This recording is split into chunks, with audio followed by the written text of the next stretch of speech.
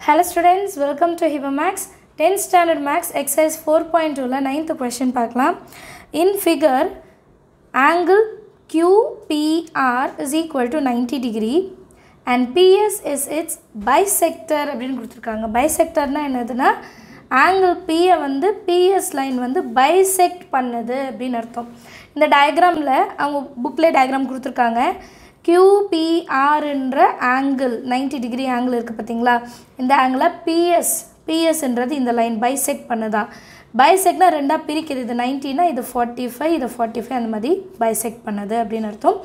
If ST is perpendicular to PR எஸ்டின்ற ஒரு line வந்து பிஆருக்கு பர்பண்டிகுலராக இருக்குது பர்பண்டிகுலர்னா என்ன அர்த்தம்? ஆங்கிள் டி வந்து 90 டிகிரியாக இருக்குது அப்படின்னு அர்த்தம். ப்ரூவ் தட் எஸ்டி இந்த லைன் இருக்குது பாருங்கள் ST into PQ plus PR is equal to PQ into PR இதை வந்து நம்ம ப்ரூஃப் பண்ணணும். சரிங்களா? இந்த ஸ்டேட்மெண்ட்டு நம்ம ப்ரூஃப் பண்ணணும். இந்த டயக்ராம் வச்சு. நமக்கு ஒரு கண்டிஷன் என்ன கொடுத்துருக்காங்கன்னா ஆங்கிள் பியை வந்து பிஎஸ் பைசெக்ட் பண்ணுது. ஸோ ஆங்கிள் பைசெக்டர் தியரம் நம்ம இதில் எடுத்துக்கலாம். இல்லைங்களா? ஆங்கிளை பைசெக்ட் பண்ணுது அப்படின்னாலே ஃபஸ்ட்டு ஸ்ட்ரைக் அவுட் ஆக வேண்டியது ஆங்கிள் பைசெக்டரை நம்ம யூஸ் பண்ணலாமா? ஏன்னா நிறைய பேருக்கு என்ன டவுட் இருந்தாலும் நான் பிபிடி யூஸ் பண்ணுமா? இல்லை ஏபிடி யூஸ் பண்ணுமா? இந்த டவுட்ஸ் நிறைய பேருக்கு இருக்குது அதனால தான் நான் சொல்கிறேன் ஸோ ஃபஸ்ட்டு பிக்யூஆர் ட்ரையாங்கிள் எடுத்துக்கலாம். இன் ட்ரையாங்கிள் பிக்யூஆர் இதில் பிஎஸ் வந்து is angle bisector of angle B so கண்டிப்பாக நான் ஆங்கிள் பைசெக்டர் தியரம் அப்ளை பண்ணலாம். அப்போ by ABT theorem ABT theorem இந்த ட்ரையாங்கிள் பாருங்கள் இப்போ இந்த ட்ரையாங்கிள் பாருங்கள் பிக்யூஆரில் பிஎஸ் வந்து ஆங்கிள் பைசெக்டர் இதை பற்றி நமக்கு தேவையில்லை.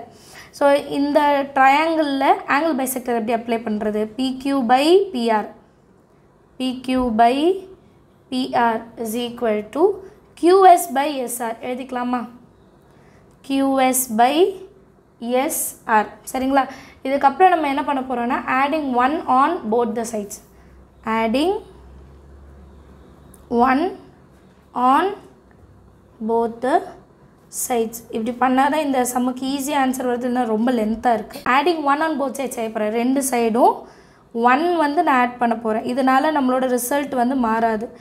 ஏன்னா இந்த பக்கமும் ஒன் ஆட் பண்ணுறோம் அதே மாதிரி எஸ்ஆர் ரைட் ஹேண்ட் சைடும் ப்ளஸ் ஒன் பண்ணுறோம் ஸோ ரெண்டுமே கேன்சல் ஆகிடும் நம்ம ரிசல்ட்டில் எந்த சேஞ்சஸும் வராது பட் நம்ம ப்ரூஃப் கண்டுபிடிச்சிடலாம். இப்போ ப்ளஸ் ஒன்னுன்னு இருந்தால் நம்ம என்ன பண்ணோம் இதை ஆட் பண்ணோன்னா எல்சிஎம் பண்ணும் இல்லைங்களா? பிஆர் இன்ட்டு ஒன் ஆன்சர் என்ன வரும்? பிஆர் இன்ட்டு ஒன் பிஆர்னே எழுதிக்கலாம். Whole divided by PR LCM எடுக்க தெரியும் இல்லையா? PQ plus PR one jar PR full divided by PR அதே தான் இந்த சைடும் QS plus SR into one SR into ஒன்னா எஸ்ஆர் டிவைடட் பை கீழே இருக்கிற எஸ்ஆர் எழுதிக்கலாம். சரிங்களா?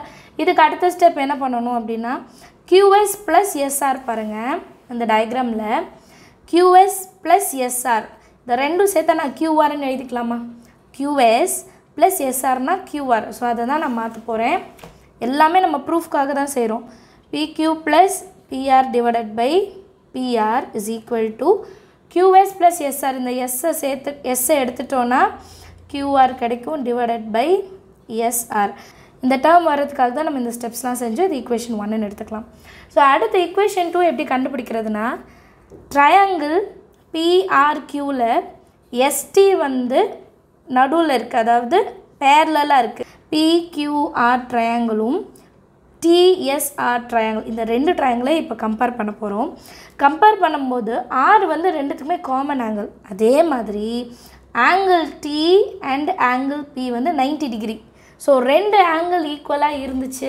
ரெண்டு ட்ரையாங்கிள்னால் நம்ம ஏஏ சிமிலாரிட்டி வச்சு என்ன சொல்லலாம்னா பிபிடி தேரம் அப்ளை பண்ணலாம். அதுதான் நான் செய்ய போகிறேன் ஸோ அந்த டயக்ராமில் நான் மென்ஷன் பண்ண மாதிரி in triangle PQR and TSR இந்த டயக்ராம் வேணால் நான் ரஃபாக வரைகிறேன் இப்போ இது வந்து பிக்யூஆர் இது டிஎஸ்ஆர் இந்த ஆர் வந்து ரெண்டுத்துக்குமே common so angle R is common அதே மாதிரி டியும் நைன்டி டிகிரி பியும் ninety degree and corresponding ஆங்கிள்ஸ்னால that is also equal so ரெண்டு ஆங்கிள் ஈக்குவலாக இருக்குது அப்படின்னா நம்ம என்ன பண்ணலான்னா by AA criterion on similarity இதெல்லாம் நீங்கள் எழுதிடணும். இடம் இல்லைன்ற நான் கீழே எழுதுகிறேன் triangle PQR similar to triangle TSR இதை வந்து நம்ம ப்ரூஃப் பண்ணலாம். சிமிலாரிட்டி ப்ரூஃப் பண்ணியாச்சு. சிமிலாரிட்டி ப்ரூஃப் பண்ணிட்டா நம்ம ரேஷியோஸ் எழுதலாம் இல்லையா?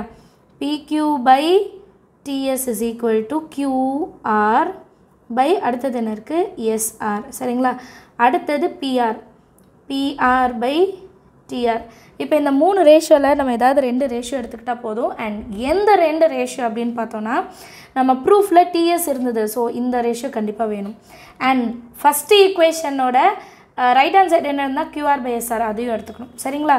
So PQ by TS is equal to QR by SR இதை வந்து நம்மளோட செகண்ட் இக்குவேஷன் எடுத்துக்கலாம்.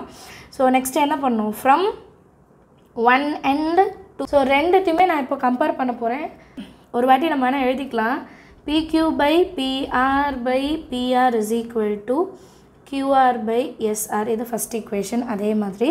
இங்கே என்ன கண்டுபிடிச்சோன்னா PQ by TS is equal to QR by SR இது நீங்கள் எழுதணும்னு தேவையில்லை. நான் எக்ஸ்பிளைன் பண்ணுறதுக்காக எழுதுகிறேன் இப்போ இந்த ரெண்டு டேர்ம்லையும் பார்த்தீங்கன்னா common QR by SR QR by SR so ரெண்டுமே ஈக்குவல் இல்லைங்களா? அப்போ இந்த ரெண்டு டேர்மை நான் ஈக்குவல் பண்ணிக்கலாமா?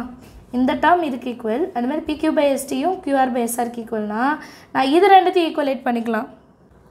ஸோ இப்போ இந்த ரெண்டு டேர்மையும் நான் ஈக்குவல் பண்ணி எழுதியிருக்கேன் பாருங்கள் PQ by PR by PR is equal to PQ by TS TS இல்லைனா நம்ம ப்ரூஃபில் எஸ்டின்னு கொடுத்துருந்தா நம்ம எஸ்டின்னு கூட எழுதிக்கலாம். சரிங்களா? இப்போ ஜஸ்ட் க்ராஸ் மல்டிபிள் பண்ணுங்கள் எஸ்டி இந்த பக்கம் வந்துடும் ST into PQ plus PR is equal to PQ into PR இதுதான் நம்மளோட ப்ரூஃப் ரொம்ப சிம்பிள் பாருங்கள் ஸோ என்ன பண்ணலாம்? ஹென்ஸ் ப்ரூவ்ட் அப்படின்னு எழுதிட்டாலே போதும். சரிங்களா? ரொம்ப ஈஸியான ஒரு சம் நீங்களும் ட்ரை பண்ணி பாருங்கள் இந்த ஏபிடி தேரம் அப்ளை பண்ண பிறகு plus one on both the sides இது ஒன்று செஞ்சாலே போதும். உங்களுக்கு ஆன்சர் ஈஸியாக கிடச்சிரும். மறந்துடாதீங்க. அடுத்த ஸ்டெப் அதை செஞ்சுட்டு எல்சிஎம் எடுத்துகிட்டு கியூஆர் பை கியூஎஸ் எடுத்துகிட்டு வந்துடுங்க அதே மாதிரி பிபிடி அப்ளை பண்ணி கியூஆர் பை கியூஎஸ் எடுத்துகிட்டு வந்துட்டு ரெண்டு டேர்மையும் ஈக்குவல் பண்ணிட்டு க்ராஸ் மல்டிபிள் பண்ணாலே உங்களோட ஃபைனல் ஆன்சர் கிடச்சிரும். எல்லாருக்கும் அண்டர்ஸ்டாண்ட் ஆயிருக்கும்னு நினைக்கிறேன். தேங்க்யூ ஸோ மச் ஃபார் வாட்சிங்